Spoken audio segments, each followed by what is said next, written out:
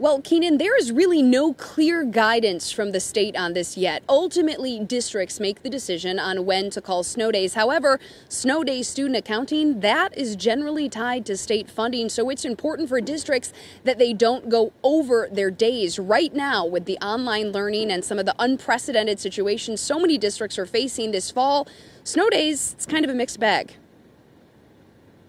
In the Woodhaven Brownstown School District, about 60% of students are learning face to face. And a snow day this year, says Superintendent Mark Greathead, could mean those learning in person just shift to remote learning for a day. We would have to prepare for that. And I don't I don't believe we're prepared for that right now. In a typical snow day, uh, we're watching the forecasts three, four, sometimes five days in, in advance. So it's rare that a snow day uh, sneaks up on us. Students in the Rochester Community School District, which spans 66 square miles and two counties, are also learning online. The district, too, is still deciding its snow day plans. As for virtual learning, the superintendent says, I think it leaves us another tool in the toolbox, depending on, on what the uh, what the weather event looks like. If we're if we're going to shift to remote and be able to, to count the days in in our normal uh, our normal normal pupil count, that's that's one circumstance. We asked our Channel 7 viewers who are also parents. Ed says if children can have class from home because of the pandemic, then the same can be done for snow days. Jennifer writes, if teachers are still required to come to the school building to hold class and weather affects their drive, then snow days should still exist.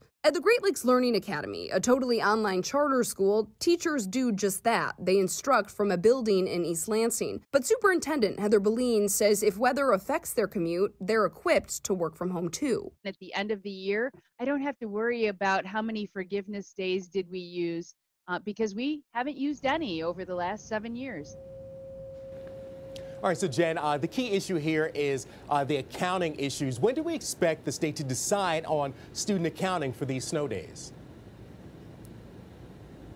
Well, I spoke to a state representative very familiar with this issue last night. He expects that decision ultimately will be made within the next month or so, possibly earlier. Now, in the state's return to learn plan, there was initially a limit on snow days, in part due to virtual learning, but that part of the bill was taken out and not included in the version that actually passed. So, still a lot of unknowns here, and something we will be following very closely. Reporting live this morning, Jen Schanz, 7 Action News.